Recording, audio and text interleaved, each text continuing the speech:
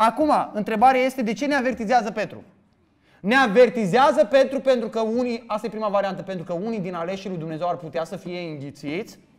Sau doi, ne avertizează Petru tocmai ca aleșii lui Dumnezeu să nu fie înghițiți.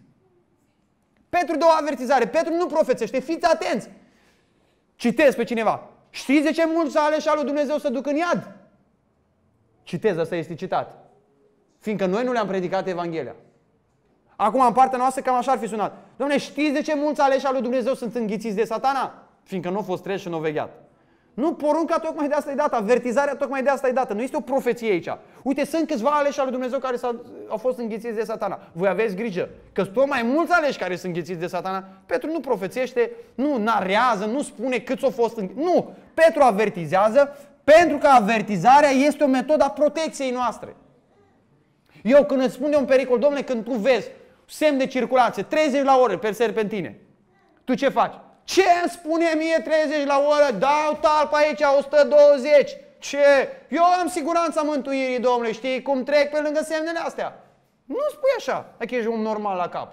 Nu, ești 30 la oră, pui piciorul pe frână, nu chiar la 30, nu? Trebuie să forțezi o leacă, așa să simți cum intră mașina în curvă, nu? Că ai siguranța mântuirii. Ai mașină, intră așa puțin. Forțezi puțin, da, ai rămas pe șosea, da? Ăsta e stilul nostru. Dar tu care ești un om normal, și mă, nu mi-a pus semne așa numai să afle întreaba aici. Mă pus semne așa pe munți, au ăștia românii ceva cu noi. Nu vor să ne lasă să mergem pe munți cu 200 la oră, deși putem. Ce oameni sunt ăștia, mă? Nu! Tu te gândești să o pus semnele alea, pentru că sunt niște pericole acolo, da? Și tu, care ești un om normal la cap, repet, tu ce faci?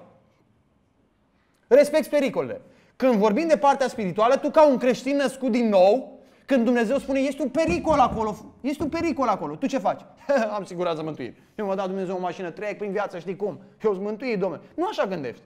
Nu, modul în care Dumnezeu mă păstrează mântuirea, asta este avertizându-mă. Iar uneori amenințându-mă. Dumnezeu ne amenință pe noi creștinii. Dumnezeu ne avertizează pe noi. Nu este incompatibil cu siguranța mântuirii. Nu este incompatibil.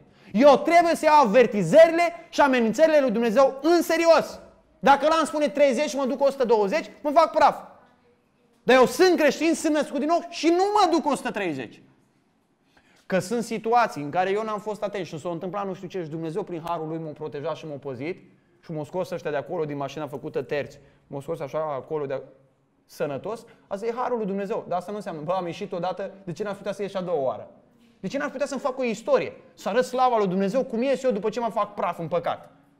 Nu, niciun om normal nu gândește așa. Mi-a plăcut de un băiat care l-am întâlnit în, uh, în Madrid, un băiat serios care predică în mijlocul Madridului la kilometru zero. Se duce și ia portavoce acolo și predică Evanghelia săptămânal. Și discutând cu el despre siguranța mântuirii, despre avertismentele, avertizările, amenințările pe care ne le dă Biblia, trebuie, domnule, cum împaci lucrurile astea? Că oamenii zic, hă, hă, dacă ai siguranța mântuirii, faci ce vrei, nu? Și el așa, mă, eu pe oricine aud spunând lucrul ăsta, că e păstor, că e preot, că e predicator, că e orice, îl întreb dacă e născut din nou. Și cum așa? Păi și cum poți tu să gândești ca și creștin născut din nou, care ai murit față de păcat, care ești înviat la o viață nouă, cum poți să gândești că ai putea trăi în păcat? În păcat ai trăit înainte să vii la Dumnezeu. De ce mai veni la Dumnezeu dacă vrei să trăiești în păcat?